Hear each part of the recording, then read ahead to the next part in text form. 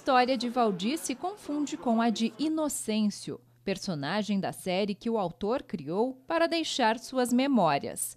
Tudo começa na infância humilde em uma pequena comunidade rural, fase que corresponde ao primeiro livro. Depois vem a juventude, os primeiros anos da vida adulta e chega a etapa que ele chama de maturidade profunda, narrada em seu mais recente livro. É uma época em que o Inocêncio viu tanto absurdo e ele percebeu que a visão de mundo uh, que ele adquiriu na infância era totalmente diferente da visão de mundo que ele eh, encontrou a falta de solidariedade, as pessoas, a intolerância. No livro, o personagem vai à Europa em uma jornada em busca do sentido da vida e do autoconhecimento, assim como fez Valdi. Morou em Londres, Paris, Barcelona, foi publicitário e cineasta. Deixar essas experiências através da escrita é para Valdi uma maneira de contribuir. Esse era o meu sentido, né? É trabalhar é, em cima de algo muito maior do que mim mesmo, né? Que transcender. Os livros é a, é a, é a, são as pegadas que eu estou deixando para a geração que vai começar a sua jornada, ou aqueles que estão jornadeando. O quinto livro que vai completar a saga de Inocêncio já está sendo produzido. Nele, Valdir vai trazer as reflexões sobre a fase da vida que ele vive hoje, a qual chama de colheita, etapa de distribuir o conhecimento adquirido a uma nova geração. É uma sensação de dever cumprido, né? de, é, de realização e, enfim, eu acho que dá para partir aqui do planeta com a frase missão cumprida. A produção industrial gaúcha aumentou 2,9% entre agosto e setembro. A elevação ficou acima da média nacional de 0,3%. As informações são do IBGE. No Rio Grande do Sul, o setor moveleiro teve o maior peso na recuperação parcial em relação ao mês anterior, quando havia sido registrada uma retração de 3,3%.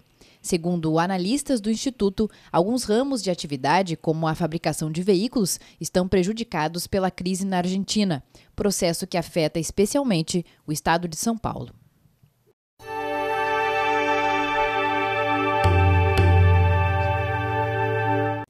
Grande parte do Rio Grande do Sul terá uma sexta-feira de sol e nuvens.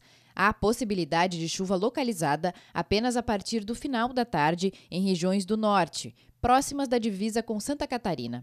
Algumas áreas devem registrar um maior aquecimento, se aproximando de um cenário típico de verão. Em Porto Alegre, o dia será de sol e nuvens. A temperatura fica entre 17 e 26 graus. Em Uruguaiana, na fronteira oeste, a mínima é de 17 e a máxima chega aos 30. No centro, em Cachoeira do Sul, os termômetros marcam entre 17 e 28 graus.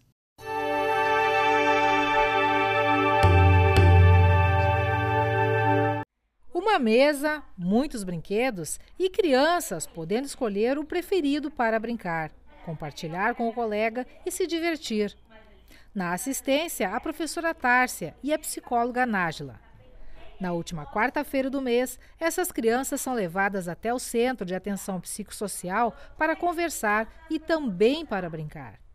E aos atentos olhos e ouvidos das profissionais, através do que fazem com os brinquedos e das brincadeiras, os pequenos se revelam. Conflitos, sentimentos e carências. Qual é o teu primeiro trabalhinho aqui hoje? Um pai e um filho. Por que, que tu montou um pai e um filho? Porque sim. É? Ia lutar com os dinossauros para defender o filho. E a Mana melhorou depois que começou a vir? Melhorou. O que, que tu acha que ela melhorou? Ah, foi batendo em mim toda hora. E agora? Qual foi bom? As crianças, no geral, elas não têm o vocabulário que nós temos para expressar os sentimentos, o que elas estão pensando, sentindo. Então, no brinquedo, no brincar, é a forma que nós deciframos o que, que está se passando dentro delas, né? Através dos desenhos livres, através das brincadeiras como jogos, como hoje vocês viram, nos jogos aparece muito como elas lidam com a questão dos limites. Né? Se elas respeitam limites, se elas aceitam as regras do jogo, se elas sabem dividir o brinquedo né, com outro colega. Então, nós trabalhamos, nós mediamos essas questões para que eles venham aprender né, fora daqui também. Eles vêm para o serviço, brincam, e conforme o que as mães vão nos trazendo no, durante todo o mês, na última quarta do, da, do mês, a gente consegue trabalhar essas questões com eles brincando. Né? Questões de limites, questões da, da, da, dificuldade da aprendizagem, se é um transtorno ou se é só uma dificuldade de aprendizagem, a gente vai concluindo isso e então dando essas respostas para a família, para a escola, podendo dar uma qualidade melhor para o desenvolvimento dessa criança. O grupo de crianças é um apêndice do CAPS 2 para suprir a falta de um CAPS infantil na cidade. Elas chegam aqui com transtornos diversos, problemas escolares, familiares e de socialização. A missão do trabalho em grupo é dar assistência, observar, analisar, diagnosticar e encaminhar para tratamento. Só que tudo precisa do suporte familiar, onde geralmente está a origem de tudo. Por isso, em outro dia da semana, acontece o encontro das mães ou responsáveis pela criança. Nós trabalhamos muito o que eles nos trazem para poder entender como é o comportamento dessa criança lá na escola, em casa, poder entender um pouco do contexto familiar, os conflitos que existem, a forma que eles se relacionam, a forma que eles se comunicam entre eles, né? E poder fazer alguns ajustes através de orientação para os pais. Então, se tem algo para modificar em casa, no comportamento deles, essa mudança do contexto familiar vai repercutir no comportamento da criança. O grupo das mães comparece ao CAP semanalmente, onde participam de roda de conversa, escuta e troca de vivências e dificuldades. Essa mãe, por exemplo, tem uma filhinha de 4 anos de idade que, por indicação da escola, chegou até o CAPS. Há dois meses, elas frequentam os grupos que, para a mãe, é um ponto de apoio e ajuda. Minha pequena, mais nova, ela tem dificuldade de aprendizagem na escolinha que ela está ela briga, não tem rendimento na escola. Para ti, como mãe, também ser atendida aqui, o que, que representa isso? Ai, felicidade de, de receber ajuda, o carinho que eles têm com, com a gente, com a criança também. Como é que funciona isso? É agradável para ti? É agradável de saber que não é só eu que estou passando por a mesma dificuldade, que a gente vai procurar se ajudar todas juntas. Essa outra mãe tem um filho de 13 anos que há seis é tratado pelo CAPS. Na escola era brigão, agressivo e hiperativo. Há três meses, a filha de 9 anos, que é muito agitada, tem dificuldade de aprendizado e baixo rendimento escolar, também passou a receber atendimento. Aqui no CAPS, que tipo de atendimento tu recebe? Que efeito tem isso para ti? É bom? É bom, é maravilhoso. É bom mesmo. Eu tenho a oficina com eles, quarta-feira. Última quarta do mês é com eles. E eu é toda, todas as quarta-feiras. Aí tem psicólogo, tem o que eu preciso, eu venho e eles me ajudam a resolver os problemas, né? Um dos casos mais agudos é o dessa avó, de 76 anos de idade, que assumiu cinco netos depois que, há quatro anos, a filha teve um acidente vascular cerebral e ficou paraplégica. Dois dos netos têm alteração de comportamento e, há quase um ano, receberam indicação de acompanhamento.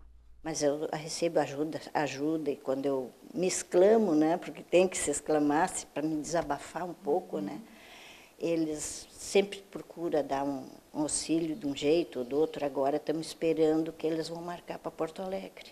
Eu gosto, porque a gente aprende. Eu aprendi a dizer o não, que eu não sabia dizer o não, eu fazia muita vontade. Eu aprendi muitas coisas, estou aprendendo ainda, né? Estou aprendendo. Compartilhar experiências está sendo uma é. coisa boa para a senhora? Sim, porque eu estou passando, eu só tive duas filhas. E agora, como tem esses monte de criança, né, tem que saber lidar. Agora, Quando a gente faz o acolhimento, a gente trava com, com a mãe, ou com o pai, com o responsável, uma responsabilização em vir no grupo e se entender como processo daquilo ali, dos, dos sintomas daquilo que está trazendo. Não é a criança, às vezes a gente ouvia as perguntas, mas por que, que eu tenho que vir se é ele que está ele que está doente, ele que está, é ele que sente isso, não é, não sou eu. Sim, mas tu tem que vir para a gente trabalhar esses sintomas e ver se não é o ambiente que está adoecendo, se não, se são sintomas que a gente pode estar tá minimizando, mesmo que estejam que tenha alguma patologia, pode estar sendo minimizado com o espaço familiar, o espaço escolar. A gente trabalha com assim com prevenção na infância, né? Então a gente procura a partir dos relatos do comportamento da criança traçar algumas metas e um plano terapêutico para que evite que ela venha a ter um prognóstico, né, negativo no futuro. Então é a partir disso que a gente evita problemas maiores futuramente.